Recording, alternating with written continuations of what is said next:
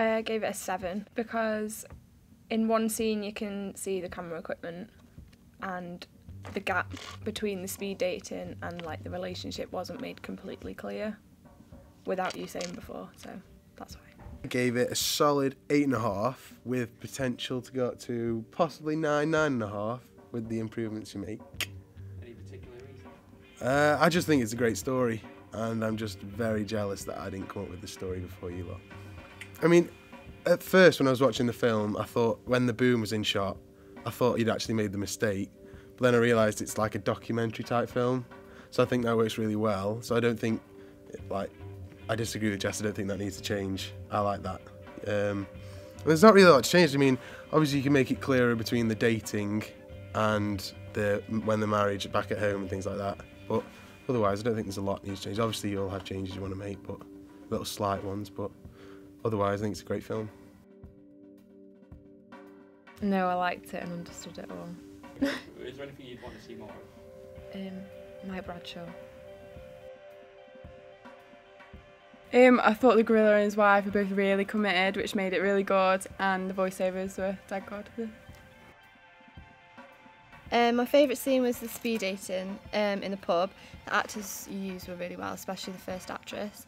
Um, my least favourite was the eviction notice. Um, it worked well with the narrative, but I I found it a little bit boring.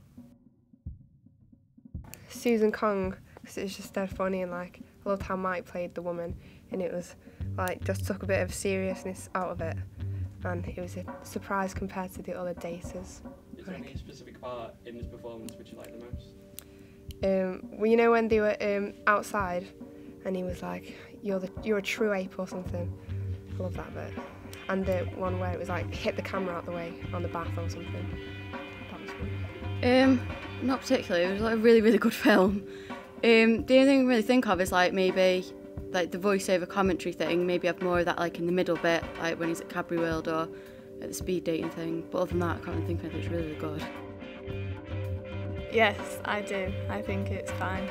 But it was a little bit scary. the face was a little bit scary. But yeah, it's fine. You can do this. You can do this. Yes, uh, the. You gotta keep moving this.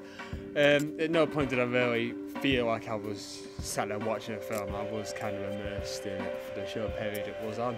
Um, that's that would be thanks to the editing, which was all very smooth.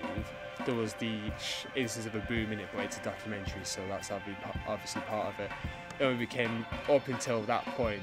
I just I was kind of lost in it. Then that did take me out to the fact that it is a documentary. I felt the verisimilitude in it was excellent. On the top of your head, could you think of anything that could be improved? Honestly, no, I don't think so. Um, maybe get a real gorilla instead of an actor in a costume. Can we do that? The babes, yeah, the babes. More babe. Can we get more of the babes in? Of course. Yeah. Cut.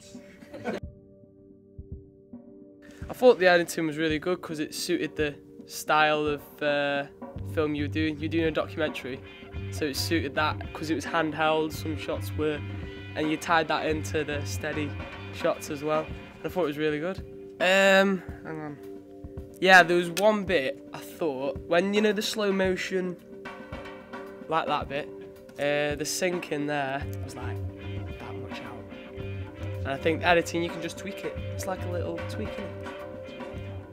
Yeah, so that's all it with that, and it's like the perfect film. Sweet. Thank you very much.